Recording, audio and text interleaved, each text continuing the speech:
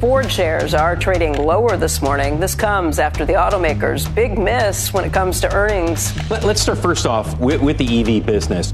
You lost 2.1 million billion, I should say. Ford has been a dominant player in the automotive industry for over a hundred years, but they're currently experiencing a Kodak moment. Recognizing they need to become an EV manufacturer, they're abandoning their roots to join the Elon Musk EV revolution.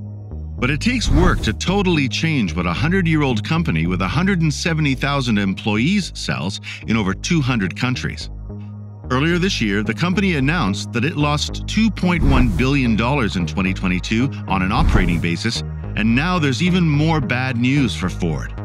Join us as we explain exactly why the Ford CEO is revealing huge EV losses for the first time and why no other CEO will ever do this. Before we go into detail, it's important to know that CEOs do not like to break bad news. Ever. One of their primary responsibilities is to make money for the company's shareholders, and increasing stock prices is the way they do this. So, if they ever have bad news to break, which will affect the stock price, it's usually masked in some way to soften the blow. If you've ever seen a CEO on CNBC, you know how they can be. But what Jim Farley has just said he'll do completely goes against the rules for a legacy automotive CEO. Investors have been eagerly awaiting news from Ford Motor on the costs of transitioning to electric vehicles, and now the company has revealed all. In an exciting move, Ford has revealed its financial results by business unit first, the first time any automaker has done this. By doing this, investors can open up the hood for the first time to understand the mechanics of an EV transition for a legacy automaker. Ford boldly announced that it will lose $3 billion on its consumer electric vehicle sales this year.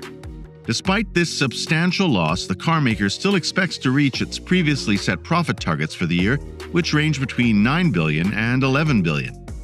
These losses don't account for expenses from taxes and interest, and are almost equivalent to the losses from the previous two years combined. In 2021, Ford lost approximately $900 million on EVs, while in 2022 it lost 2.1 billion. This is the first time that the automaker is making a move to break out the results from its EV operations. Despite the massive losses, Ford is confident that EVs will become profitable. It projects that its operating margin loss for EVs will decrease from negative 40% last year when it sold about 96,000 EVs and made $5.3 billion in revenue, to a target 8% profit by the end of 2026. The automaker claims to achieve this by increasing its EV production to a global annual rate of 2 million vehicles by the end of that year. It's amazing that even with the strides being made in increasing EV output and manufacturing scale, no other company aside from Tesla and BYD is expected to generate significant profits from electric vehicles in the near future.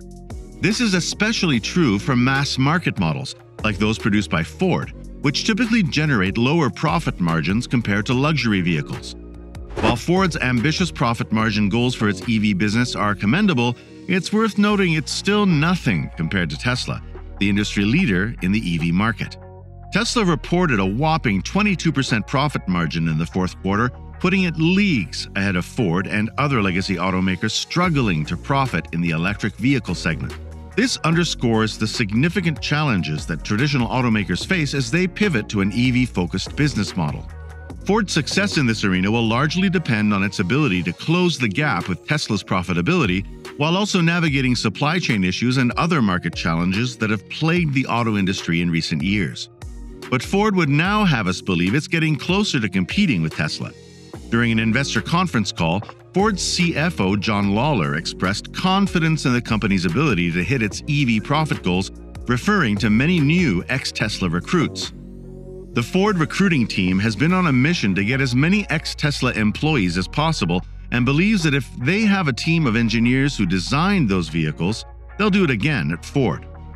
According to Lawler, Ford has a whole new approach to designing vehicles that's very much focused on energy efficiency and they have the people at Ford who know how to do that. Ford cut the price of one of its EVs, the Mustang Mach E, earlier this year when it raised production of those vehicles. And Tesla has also slashed the price of its lower priced models in various markets around the world. However, the company soon realized that this undertaking would not be as simple as it had hoped. During an earnings call, CEO Jim Farley revealed that the production of the Mach E and the F 150 Lightning EV pickup had encountered several unexpected problems, causing costs to skyrocket. For instance, they accidentally added cost and weight to the car by adding a wiring harness that was 1.6 kilometers longer than it needed to be. We didn't know it's 70 pounds heavier and that that costs another $300 a battery, said the CEO on an earnings call. Additionally, Ford had underinvested in braking technology to save on the size of the battery, leading to further complications. Farley said these and other cost problems meant that Ford left about $2 billion of profit on the table in 2022. Dubbed Ford Refounded, the new reporting structure will be introduced with a teach in session for media and analysts alike. This momentous event will not only shed light on the electric vehicle transition, but also offer revised versions of its financial results that will showcase how the new business units would have performed in 2021 and 2022. It's a groundbreaking move that's sure to keep investors on the edge of their seats. Ford is shaking up its business structure to gear up for the future of transportation and the automaker is making some big moves to stay ahead of the curve. Ford has created five new business units, each with a specific focus on innovation and growth.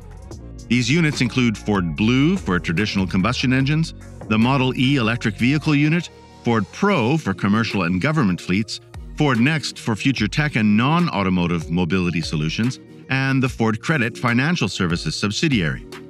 Ford is also set to release profits and losses, revenue, margins, and earnings before interest and taxes, EBIT, for each of the business units. This will give investors and analysts a detailed look at the financials behind the EV business, allowing a baseline for comparison as the company's transformation unfolds. Under the leadership of CEO Jim Farley, Ford has made significant changes to its business structure to adapt to the evolving transportation landscape.